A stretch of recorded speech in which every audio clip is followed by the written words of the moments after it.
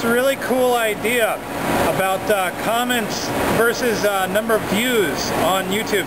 So right now I want you to go down and comment on at least two things below me. I figured out the maximum number of comments is uh, factorial number of the number of views.